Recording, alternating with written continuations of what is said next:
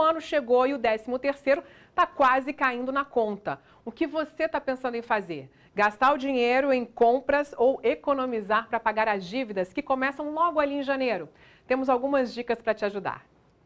Tem gente que passa o ano inteiro esperando por esse dinheiro. Quando eu acabo, acabo ele, começa o outro ano, eu já começo a esperar fazer planos para ele de que, que, eu vou, de que maneira que eu vou gastar o dinheiro. A primeira parcela do 13º salário geralmente cai na conta no dia 30 de novembro e o prazo para pagamento da segunda parcela é até 20 de dezembro. O valor é calculado com base no salário do trabalhador e o tempo de serviço ao longo do ano. Ainda que o trabalhador tenha tido uma redução de jornada e, consequentemente, de salário, é o mês de dezembro que vai servir como parâmetro para o pagamento do 13º. Fátima foi ao shopping só para passear, nada de sacola nas mãos. O 13º dela já está comprometido em um relacionamento sério com a casa própria. Comprei um imóvel, então eu vou terminar de pagar o imóvel. Então estou precisando muito do 13º para terminar de pagar. O de Varejista prevê que o 13º gere uma movimentação de cerca de 7 bilhões e meio de reais na economia do DF até o fim do ano. Uma boa notícia, é claro, para o comércio. Mas para o consumidor, principalmente aquele que tem dívidas, a orientação é para ir com calma nos gastos. Especialistas avaliam que, por agora, ter um comportamento mais conservador pode ajudar a fazer com que esse dinheiro, de fato, gere um alívio no orçamento. Lembre-se que janeiro tem IPVA, IPTU, material escolar dos seus filhos, então começar o ano já com planejamento financeiro para 2022 é muito bom, é muito interessante. É isso que a Vera Lene está pensando em fazer. Vai ajudar na, nas compras de Natal e deixar um pouquinho para janeiro, fevereiro, porque a coisa pega, né? É material escolar, é um monte de coisa, né? O planejamento é sempre a melhor opção. Após pagar as dívidas ou para aqueles que não, não as têm, é sempre importante aplicar uma parte. E a recomendação básica é o tradicional 70-20-10. 70 para os gastos normais de fim de ano e início de ano, 20 para se divertir, afinal é Natal, e 10 para aplicar. É bom, né? O 13 terceiro é aquele respiro para muitas famílias na hora de fechar o orçamento do mês. Até porque a inflação está lá em cima. Aqui no DF chegou a 1,25% em outubro, que foi a maior para este mês desde 2002. Isso de acordo com os dados do IPCA, que é o Índice de Preços ao Consumidor Amplo, divulgado pelo IBGE.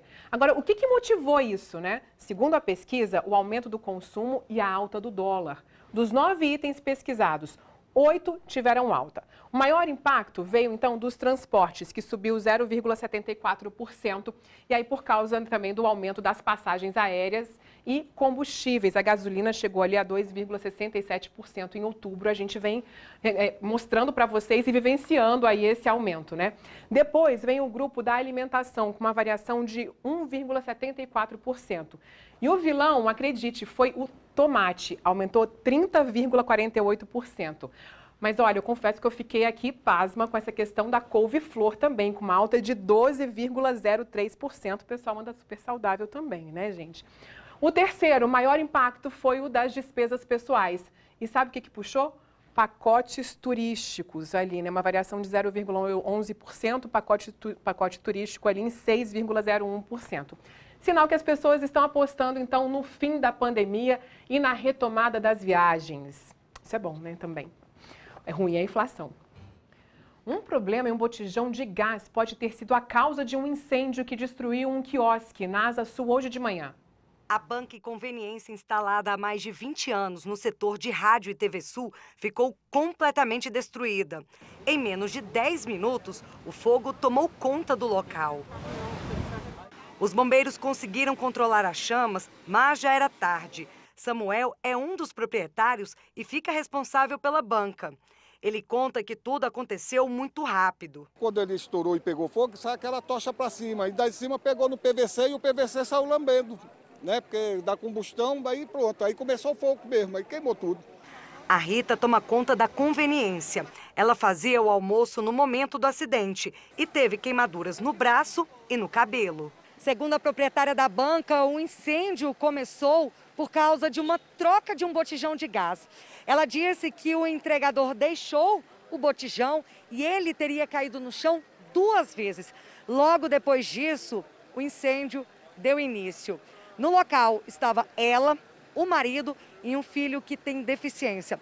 Eles conseguiram se salvar, mas a banca foi completamente destruída. Peguei o, minha, o meu extintor, joguei ali, tentei apagar, depois o pessoal correu tudo ainda, entrei para apagar, mas não, não deu não. Segundo Samuel, o prejuízo passa de meio milhão de reais. Com estrutura, com tudo, 600 mil. Após apagar o incêndio, os bombeiros avaliaram que a estrutura foi abalada. Uma perícia vai apontar se será necessário ou não demolir o comércio. E faz um alerta de como agir em acidentes como esse. A pessoa que estiver fazendo a troca perceber que houve vazamento de gás, a primeira coisa certa a ser feita é desligar a energia, entendeu? Retirar o botijão do interior do, do imóvel para um local arejado. Muito doloroso, a gente corre, né? Levanta 5 horas da manhã para estar tá aqui de, até 8 da noite para acabar tudo no segundo, é muito triste. Triste demais mesmo, gente. Olha, o Centro de Investigação e Prevenção de Acidentes Aeronáuticos, o CENIPA, começou a perícia em motores do avião que caiu em Caratinga na semana passada com a cantora Marília Mendonça e quatro pessoas. As peças chegaram aqui em Brasília ontem à noite. Paulo Vitor Tatuzinho tem as informações para gente. Olá, Viviane. Os dois motores da aeronave onde estava Marília Mendonça e os quatro ocupantes chegaram a Brasília na noite desta última quarta-feira e estão numa sala fechada aqui no CENIPA, Centro de Investigação e Prevenção de Acidentes Aeronáuticos. Segundo informações ah, da Força Aérea Brasileira, nos próximos dias esses dois motores irão passar por uma perícia, uma perícia bem detalhada. Primeiro, para descobrir qual era a velocidade que a aeronave estava no dia da queda, na última sexta-feira, e principalmente a altitude, para assim identificar as causas do acidente. Com isso também, a Força Aérea Brasileira quer ah, que essa perícia desse caso trágico que tirou a vida da cantora e mais quatro ocupantes também reforce a questão de sobrevoar em voos de pequeno porte aqui no país. Para tentar evitar outros acidentes, né? Vamos para o intervalo, eu volto já.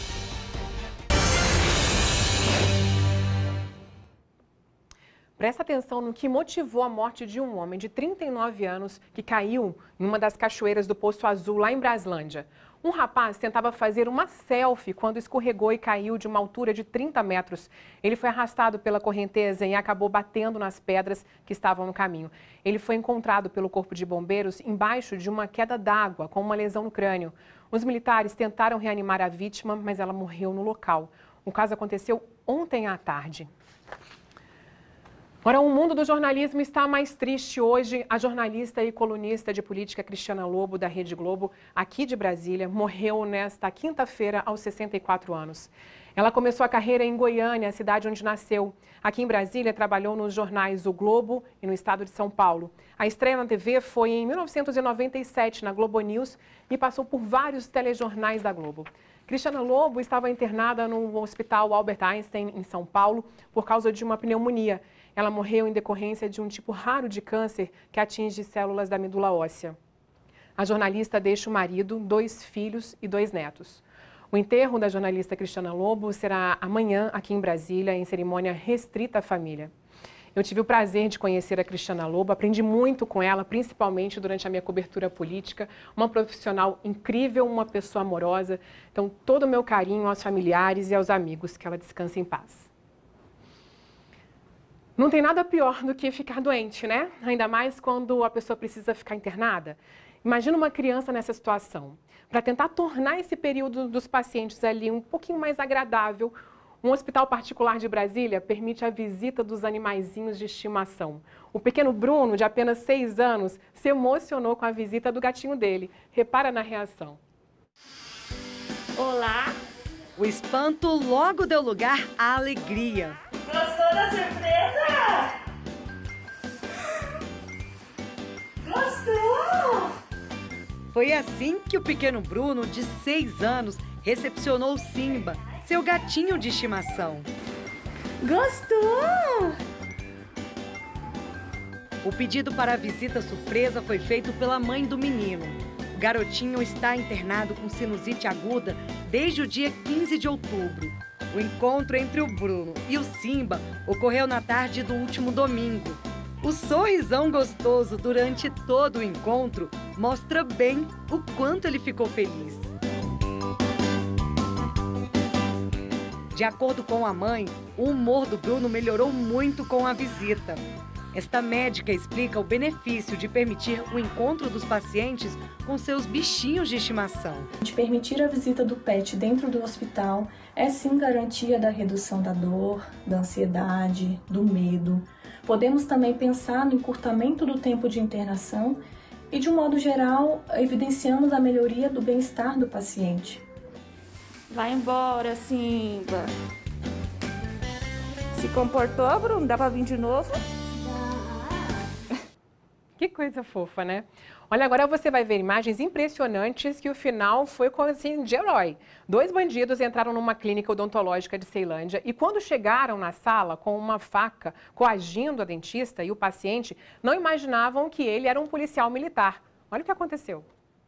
Pela imagem das câmeras de segurança, era por volta das 10h30 da manhã quando os dois bandidos, usando máscaras, subiram a escada que dá acesso à clínica de odontologia. O primeiro criminoso de casaco preto, camisa e bermuda azul. O segundo logo atrás, de casaco preto e bermuda. Essa câmera mostra uma mulher sentada próxima à porta de entrada. Os bandidos entram e sentam ali perto. Uma outra mulher de camisa branca caminha em direção à sala e aparenta ficar assustada ao ver a dupla. É quando eles se levantam e juntos sacam facas da cintura. Um deles fecha a porta principal e o outro acessa o corredor que leva à sala onde são feitos os atendimentos. Mal sabiam os criminosos que naquele exato momento havia esse policial militar aí sendo atendido. Repare que ao buscar algo na gaveta, a profissional que o atendia olha para o lado e percebe a ação dos criminosos. Num primeiro momento, o policial aparenta estar calmo, não reage. Enquanto as vítimas são ameaçadas, o policial levanta as mãos e se deita ao chão. O bandido de casaco preto parece desconfiar do PM e, com a faca, vai em direção às costas do policial. Repare que durante essa briga, o outro bandido aparece correndo em direção à saída da clínica. As vítimas seguem então para um outro cômodo e, em segundos, o PM aparece já com uma arma e dominando um dos bandidos. O policial vai até a porta da sala e se depara com outro criminoso correndo em direção a ele. O PM dispara e depois segura o bandido pelo casaco. O criminoso baleado foi levado para o Hospital Regional de Ceilândia e o outro foi levado para a delegacia. Gente, que loucura, né? A gente conseguiu o contato desse policial e amanhã, no primeira edição, você vai ver uma entrevista com ele. O policial vai contar como que ele se sentiu, como é que ele reagiu nessa situação, né? Agora, a venda de produtos manipulados tem um mercado cativo no Distrito Federal. Gente que pode, assim, por opção ou necessidade, procurar medicina e precisar ali, adaptar algum tipo de produto para consumir. Nossa equipe foi conhecer o laboratório de uma farmácia de manipulação que transforma receitas médicas, levando em consideração as necessidades de cada paciente. Pirulitos, chocolates, gelatinas. Parece uma fábrica de doces, mas não é. Tudo isso que você vê nas imagens tem ingredientes farmacêuticos. Posso ter gomas, chocolates, jujubas, pirulitos ou então as formas tradicionais das cápsulas podem ser feitas em cápsulas veganas sem gelatina de origem animal. Aqui nesse laboratório dessa farmácia de manipulação, cada produto é exclusivo, produzido de acordo com a necessidade de cada pessoa leva em conta idade, alergias, a doença, o peso, o tipo de pele ou até mesmo se a pessoa consegue ou não engolir uma cápsula. Doses de saúde cada vez mais procuradas pelos brasilienses. De acordo com a associação responsável pelas farmácias de manipulação no Brasil, entre maio e junho do ano passado, a venda de produtos manipulados cresceu mais de 50% no Distrito Federal. A Valesca é uma dessas consumidoras, seja na busca por vitaminas ou até mesmo na hora de cuidar do corpo, da pele ou despistar a fome. Aqui é muito formiguinha aí que ajuda muito na vontade de comer doce, então principalmente aquele pós-almoço, em vez de ser uma sobremesa, é o chocolate antidoce. O pirulito de morosio é algo também que eu sempre tenho na bolsa, que é um pirulito que tem um morosil, né, que ajuda na queima de gordura abdominal. Medicamentos sob medida, feitos um a um. Possibilidades de unir uma ou mais substâncias ou até mesmo retirar da fórmula componentes que não fazem bem ao paciente em um remédio industrializado. O produto se adapta a você e não você se adapta ao produto. Vou dar alguns exemplos. É, uma pessoa que tem alergia a um determinado corante. Então, o médico pode solicitar que seja feito uma cápsula ou um xarope sem esse corante. Mas tudo é feito com receita médica e acompanhamento farmacêutico. Sempre use medicamentos manipulados apenas com a receita e numa farmácia confiável, aprovada pela Anvisa, e sempre verificar no frasco a dose que foi prescrita pelo profissional de saúde, a maneira de ser administrada. Isso é importante, porque senão é um perigo, né? E ontem, vigilantes de sete hospitais públicos entraram em greve por causa do atraso nos salários. É a terceira vez só neste ano. O pagamento deveria ser feito no dia 8. Hoje, a Secretaria de Saúde informou que conseguiu dinheiro pelo projeto de lei do Fundo de Saúde, usado para cobrir despesas com o enfrentamento de emergência no sistema de saúde. Só não informou quando vai fazer o pagamento. Enquanto isso, eles continuam parados. A gente espera que se resolva o quanto antes, né? Bom, por hoje é isso, mas eu te espero amanhã. Uma ótima noite para você, obrigada pela companhia. Um beijo, tchau, tchau.